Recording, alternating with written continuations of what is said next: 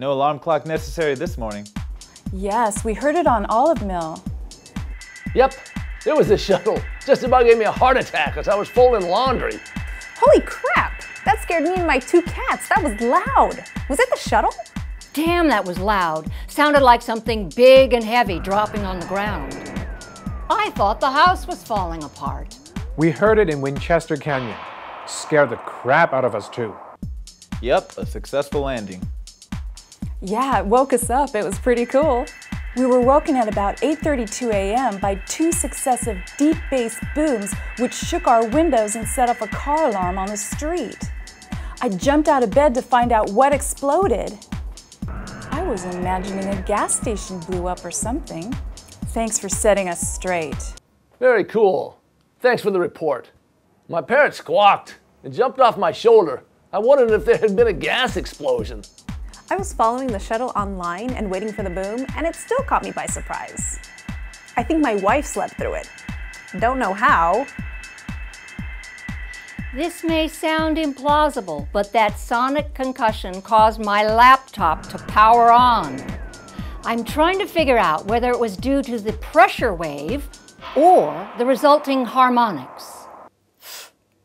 Too nerdy for 9 a.m. Montecito rocked to life with an 836 sonic jolt. Welcome home, Space Shuttle. And thanks, Ed, for being on top of this story faster than a speeding rocket.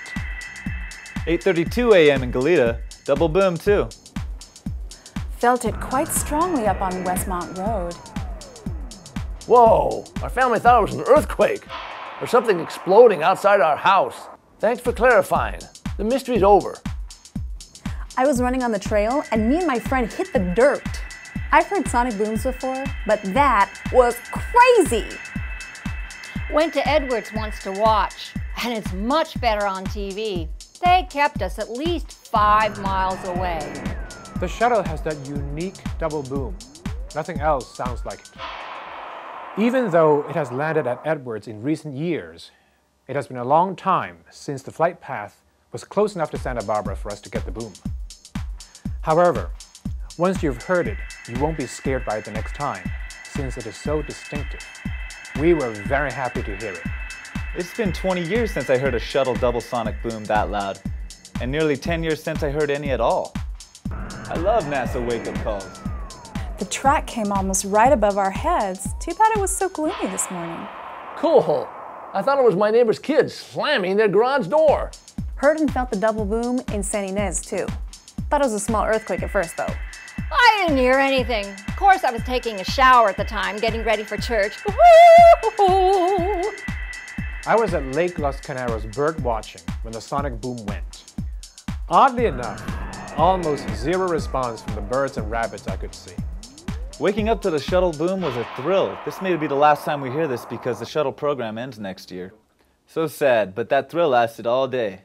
My son and I were picking up highway litter on the island seed and feed stretch of Highway 217.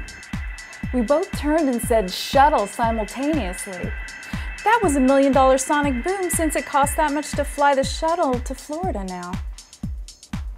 Well, I can sleep through anything, and the sonic boom is not exempt. Dang, I missed the big boom. Last I read in the papers, they were taking it to Florida willy-nilly. When did they decide to bring it in at Vandenberg? What a big, loud double bang. Sitting at my computer, I heard extra loud noises coming from the room directly upstairs. Knowing that the sound was most likely the anticipated sonic boom, I listened, then ran outside, hearing reverberating rumbling, like the sound was bouncing around in the low gray clouds, slowly decreasing in volume, lasting several seconds. When I heard the garage door start rattling and then the windows, I thought it was an earthquake until the boom. Dang right I didn't need an alarm clock. Woke me right up. If the shuttle made this much noise passing over us at 60,000 feet, imagine the noise it would make if it crashed into La Cumbre Peak. Just something to think about for those who think that the Jesusita fire was started by a rocket from Vandenberg. That's kind of like the old logic bomb in philosophy 101. Socrates is a man, therefore all men are Socrates. And everything I say is false.